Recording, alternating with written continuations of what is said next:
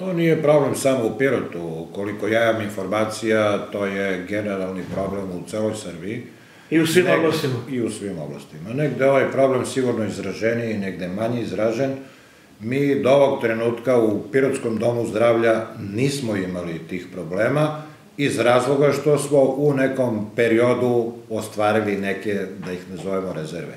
To su oni, po meni, opet kažem, e, nejasno definisani viškovi, jer standard je nešto što je rastegljivo, a mi ga ovde u medicini primenjujemo kao nešto što je zapečaćeno. Tako da, e, isti standard primenjujemo i u razvijenim e, društvenim zajednicama, isti taj standard primenjujemo i u manje razvijenim društvenim zajednicama.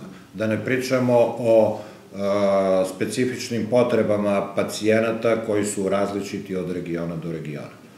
Upravo zahvaljujući tim nazovi viškovima, mi smo do sada uspešno mogli da prevazilazimo te potencijalne probleme koji su mogli da nam se dese sa osipanjem kadra. Pre svega zbog tog prirodnog odliva, jer starostna struktura zaposlenih u Domu zdravlja Pirot e, nije povoljna. Nije povoljna. Posebno ovo s aspekta onih specijalističkih službi u okviru kojih ovi problemi mogu da budu žestoki. Tu pre svega mislim na ginekologiju i mislim na pedijatriju.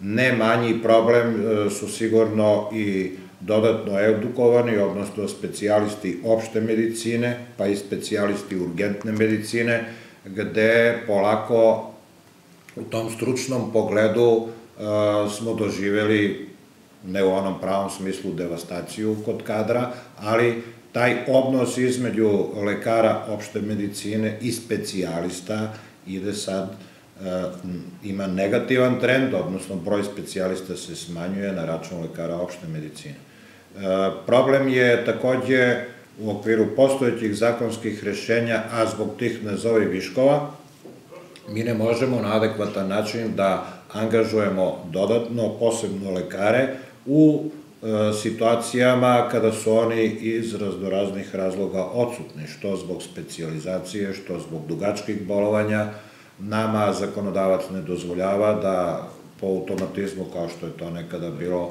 da izvršimo tu zamenu, nego smo i dalje u obavezi da se preko te Republičke komisije za kadrove, specifično ove komisije pri Ministarstvu zdravlja, da obrazlažemo i da eventualno dobijemo pozitivno mišljenje za angažovanje. Sve se to u ovom trenutku pravda to, tom uredbom o zabrani zapošljavanja.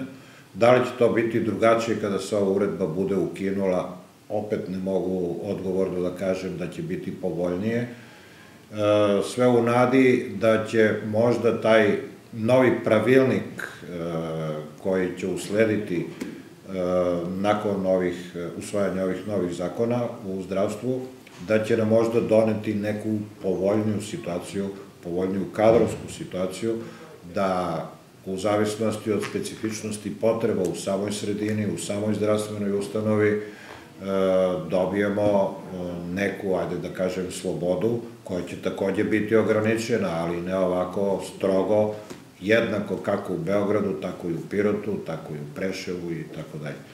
Za sada u ovoj godini se očekuje dodatno osipanje kadra, odlaze nam ginekolozi, odlazi nam pedijatar, u narednoj godini još dva pedijatra, još, je, još jedan ginekolog, u opštoj medicini smo već u problemu, tu smo pali ispod normativa, tako da se povećava pritisak na one ostale izabrane lekare. E, tražimo od Ministarstva zdravlja da nam odobri, za sada još uvek nismo dobili pozitivan odgovor.